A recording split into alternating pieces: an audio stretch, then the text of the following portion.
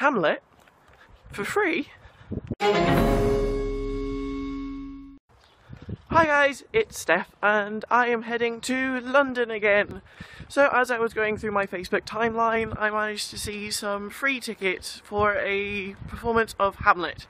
So I thought I would grab those, I would grab a friend and head to London.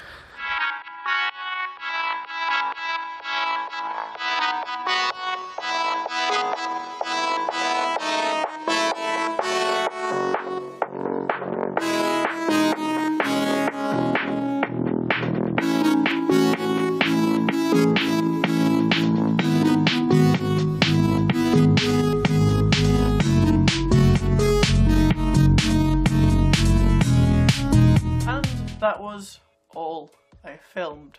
That's quite embarrassing. I am still absolutely 100% useless when it comes to vlogging. Hamlet was absolutely incredible. Andrew Scott is just like some kind of god when it comes to performing. This is the third time that I've actually seen him live. So I saw him do Birdland, I saw him do Seawall, and finally I have seen him do Hamlet. So it was done in quite a small theatre, only about 350 seats, so it was really, really intimate. And the way that they had this stage set up, so that you could have different entrances and exits comparing to where they were going, was just fantastic. It has been a while since I studied Shakespeare or even looked at Hamlet, so I was a little bit worried going into it that it might be difficult to follow, but this was not the case at all.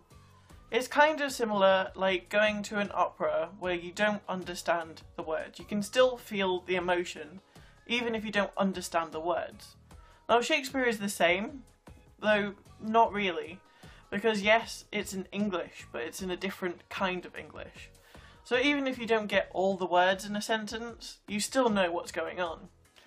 The actors in this play were brilliant, so even if you didn't understand a word of it, you could tell what they were trying to portray just in their face alone.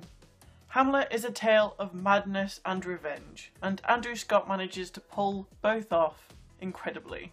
Also, this performance was captioned, so we had the words of the play on screens above the actors. And I don't know if it was a distraction for other people, but it certainly was a help to me.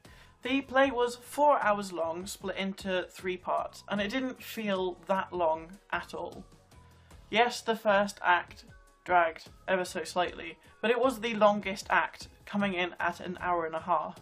It didn't help that the theatre seats weren't the most comfortable in the world. But after the first act, the other two just seemed to fly by as we got dragged into the action, going up to the conclusion. So, as it turns out, I don't know how to review plays at all, especially Shakespearean ones. But what I did manage to do was sit down with the friend that I took with me and we just dissected the whole play and it was just incredible to be able to talk to someone about it immediately afterwards. This play is actually moving theatre soon, moving to a bigger venue, a better venue, which I'm really really happy about because it was incredible and it was on such a limited run and I'm so glad that it's done so well that they're managing to move it to another venue. And I would really suggest that if you can go see this, that you should go see this. Yes, the tickets are a little bit more expensive now, but it is well worth that price. I honestly can't believe my luck that I managed to get those tickets for free because it was outstanding. But that is really all I have to say right now, other than stay nerdy.